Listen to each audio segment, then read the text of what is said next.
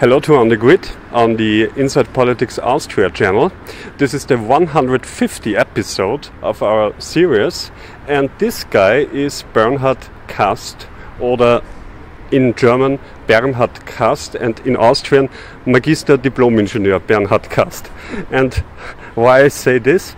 Because he is one of Austria's finest YouTubers, uh, with about 380 to 400,000 uh, subscribers, and uh, you are a military history guy or a military history visualized guy. Yeah, hello. Thank you for having me. Um, yeah, I'm Bernhard Kast. I studied computer science and history at the University of Salzburg. And in 2016, in January, I started my first channel, um, Military History, and shortly afterwards I named the Military History Visualized and now I have around 380,000 subscribers. And on my second channel Military History Not Visualized around 40,000 subscribers. And both are of course in English. And I usually use academic sources and make them more yeah more appreciable by the public. I use a lot of quotes so that people see okay that's not fake history. That's from academics or something. And yeah that's what basically I do basically. Uh, so, what you're doing on your channel, and what's the idea of of the complete concept of military history visualized? Well, what was the complete concept? I mean, the the channel. I mean, I said my first channel actually was not my first channel; it was the first successful channel. It basically, I can't really remember. It happened kind of out of an accident. I think originally I wanted to do an infographics on German panzer production and then I kind of made it into a video and then I uploaded it and it was very successful from the get-go. I saw this because my previous channels had very lackluster results and I just continued doing this and I mean the concept changed completely. Originally I was just doing videos and military history stuff I, I liked. Then I went more down the visualized route with data visualization basically, so using tanks instead of numbers and about one year ago I go went way deeper into quoting academic literature. Because before I didn't do this very much. I had one or two quotes. And now I have sometimes up to 20 quotes in one video. So and again now I'm shifting to a different approach again. Or I'm thinking about going a bit more again on the data side but it's not yet fully established. So the thing is completely in development all the time. But the basic idea was to provide a simple understanding of various military history aspects and questions. And also, I'm an engineer. For me, it's all about understanding.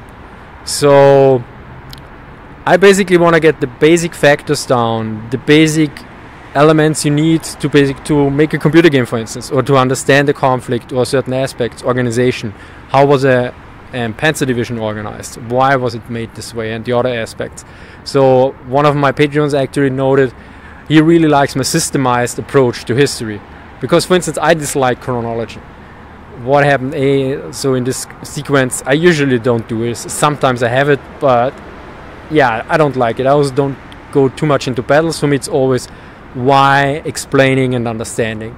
So more the I think the engineering approach.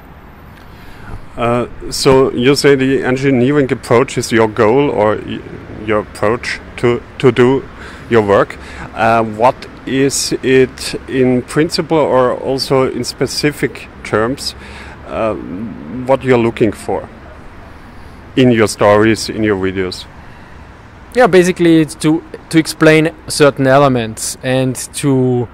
I mean, there's a lot of data out there, and I have to reduce the complexity and also make it understandable for the general people. But also, some people noted I really like what you explain because the layman can understand it, but people who know already quite a lot of stuff don't feel like they're treated like idiots.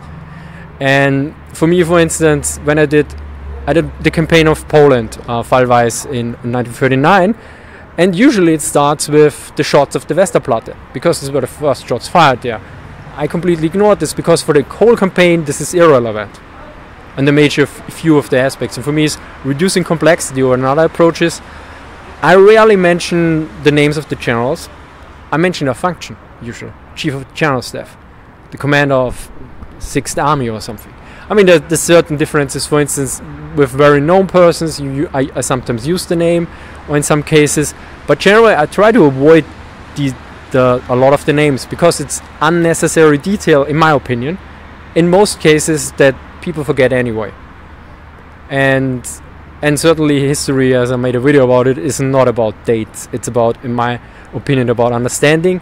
And you need to understand the the, the sequence but the causality, not necessarily the exact date. You just need, okay, event A happened before B, and this led to a certain degree to event C, but not A happened on this day, B on this, and the other way. Okay, that sounds very interesting, but also very resourceful, because I heard in the video that you uh, work about 8 to 12 hours for your research uh, per video, per story was it uh, what is true on that? I mean, a video takes. I think the longest video so far was um, how Germany treated uh, cheated Versailles. I think this was around in total more than 40 hours. Okay. I mean, it's also one of the longest videos. I think it's around 25 minutes or something, or even 30. I, I forgot. And I mean, a lot of aspect goes into designing. A lot of aspect goes into scripting and reading does also take quite a lot of time. But for certain aspect, um, reading, I can go back what I already know sometimes. I mean, just for instance, when I do a video on the Second World War, it's way easier because I know the conflict to a certain degree. For instance, when I do something on medieval stuff, I have to double check a lot of stuff or get stuff right and look it up again and, and sometimes the basics or make sure, okay, I don't make an error here. And for the design aspect, sometimes I can use certain elements I had already, and in some cases I can't.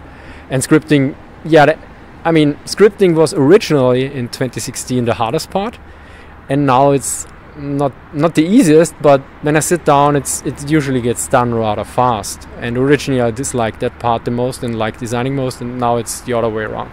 And how long do you need for a design process for scripting, for write down your I mean, ideas? Design is about 25%. Reading usually the, the problem is reading and scripting is hard, sometimes hard to distinguish from each other because usually in the scripting aspect, I reread, reread a lot of parts and in depth and control again or check it with other sources. So scripting and reading together takes up probably 50 to 70% of the time. Okay.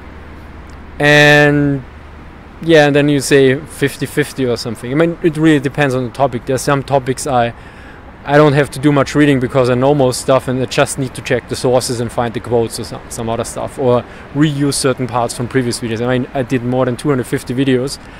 By that point, you you can reuse certain aspects. Yeah, but uh, I wrote 200 scripts for that, yeah. so, so so it's a lot of. It's probably a few hundred pages yeah. In in not with the academic uh, spacing but with the regular spacing yeah.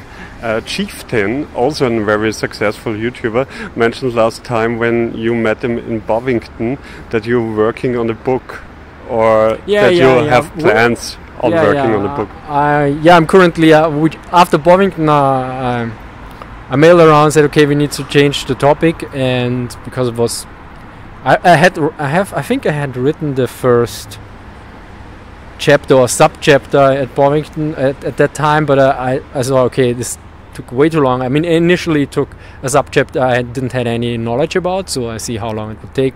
I said, okay, well, I think we changed the topic of the whole book, and I said, okay, he agrees, and and now, yeah, it's in the works and probably come out at some point. But I would say, I think, yeah, about 10% of the draft is done. I mean, okay. the structure is completely there.